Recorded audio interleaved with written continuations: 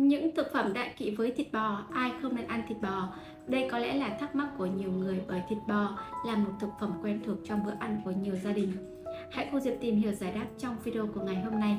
Chào bạn, tôi là Đỗ Ngọc Diệp, người chia sẻ và đồng hành cùng bạn về kiến thức sống khỏe tự nhiên để chúng ta trở nên khỏe đẹp hơn mỗi ngày. Và nếu bạn quan tâm tới chủ đề này thì hãy để lại một bình luận tích cực để Diệp có thể được tương tác và hỗ trợ bạn ngay nhé.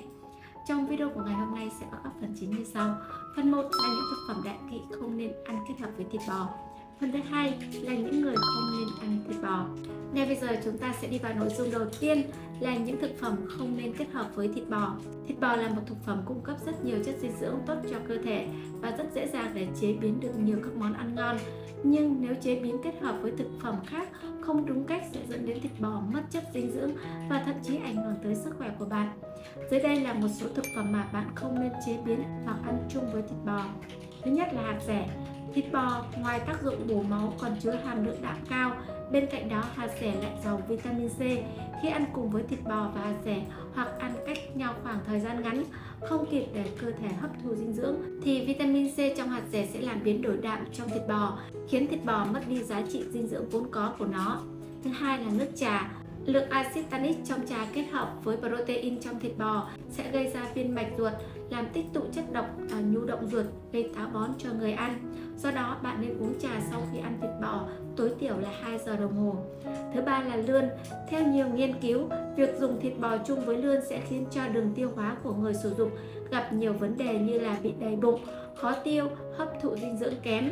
Không những thế, việc sử dụng hai loại thịt này kết hợp với nhau trong thời gian dài khiến cho cơ thể của bạn bị nhiễm độc, gây nguy hại tới sức khỏe cả tính mạng của bạn nữa. Thứ tư là hải sản. Trong thịt bò có chứa rất nhiều phốt pho, còn trong hải sản chứa hàm lượng lớn magie và canxi. Do vậy khi ăn chung hai loại thực phẩm này với nhau thành phản ứng cất tủa tạo muối làm giảm khả năng hấp thụ chất dinh dưỡng của người. Thứ tư là đậu nành. Đậu nành thuộc nhóm có nhiều protein, chất này là nguyên nhân tạo ra axit uric gây ra bệnh gút. Thịt bò cũng vậy chứa nhiều protein là một trong những loại thực phẩm tạo ra nhiều uric.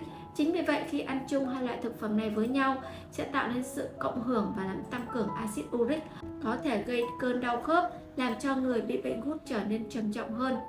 Thứ năm là thịt lợn. Sở dĩ nói thịt lợn là thực phẩm kỵ thịt bò vì thịt lợn có tính hàn, không sinh nhiệt, phù hợp với người có cơ địa nóng, dễ bị mụn nhọt, táo bón. Trong khi đó thịt bò có tính ôn, có tác dụng kích thích quá trình chuyển hóa, phù hợp với người có thể trạng yếu, suy giảm chức năng chuyển hóa. Như vậy, thịt lợn và thịt bò đối nghịch nhau. Nếu kết hợp nấu chung hoặc là ăn chung hai loại thực phẩm này với nhau sẽ làm triệt tiêu các tác dụng của nhau, không mang lại tác dụng cho sức khỏe của con người. Thứ năm là rượu. Nhiều người cứ nghĩ rằng thịt bò nên uống thêm một chút rượu để hương vị được trọn vẹn. Nhưng đâu biết rằng thịt bò kết hợp với rượu về lâu dài sẽ gây ra các bệnh như là ù tai, đỏ mắt, viêm miệng, táo bón. Bên cạnh việc những thực phẩm không nên kết hợp ăn uống bò, thì những ai không ăn thịt bò cũng là vấn đề được nhiều người quan tâm. Sau đây là những đối tượng không nên ăn thịt bò. Thứ nhất là người bị bệnh gút, không nên ăn thịt bò. Nguyên nhân là trong thịt bò có chứa rất nhiều lượng đạm. Điều này sẽ làm tăng nồng độ axit uric trong máu. Đây là nguyên nhân gây ra bệnh gút. Việc ăn quá nhiều thịt bò sẽ khiến cho bệnh gút thêm trầm trọng. Dù vậy, bệnh nhân gút cũng không nên cần kiêng kỵ tuyệt đối đối loại thịt này. Để đảm bảo năng lượng và sức khỏe, người bệnh vẫn có thể ăn thịt bò nhưng với một số lượng vừa phải. Tốt nhất là thay thịt đỏ bằng thịt trắng để ngừa bệnh phát triển nặng. Bệnh nhân sỏi thận không nên ăn thịt bò. Không chỉ thịt bò, bệnh nhân sỏi thận nên hạn chế ăn cả thịt da cầm và cá. Những thực phẩm này đều giàu protein, khiến cho lượng oxalat trong nước tiểu tăng lên hình thành các loại sỏi thận. Thứ hai là người bị ngứa da. Những người bị dị ứng với da không thích hợp để ăn thịt bò bởi khi ăn vào sẽ khiến cho da cảm thấy nóng và khô hơn. Ăn quá nhiều thịt bò sẽ làm nặng thêm tình trạng ngứa da, cản trở sinh hoạt. Người có vấn đề về chức năng tiêu hóa, dù có thích thịt bò đến mấy cũng không nên ăn loại thịt này. Thường xuyên, tốt nhất là một lần trên tuần và đây là loại thực phẩm khó tiêu. Chính vì thế, những người có vấn đề về chức năng tiêu hóa cũng cần cân nhắc trước khi ăn thịt bò. Thịt bò có thể tăng gánh nặng về tiêu hóa, dễ dẫn đến tăng nặng các bệnh đường tiêu hóa và thậm chí gây ra bệnh viêm dạ dày ruột. Bên cạnh đó, trẻ em đang tập ăn cũng không nên ăn loại thịt này. Bên cạnh đó, trong đông y cho rằng thịt bò có tác dụng bổ khí và lá lách, chăm sóc tốt cho xương cốt, cường gân cơ. Tuy nhiên, bạn không nên ăn quá nhiều loại thịt này. Mỗi một bữa ăn, không nên ăn quá 80g. Trên đây là những điều mà Diệp muốn chia sẻ tới các bạn.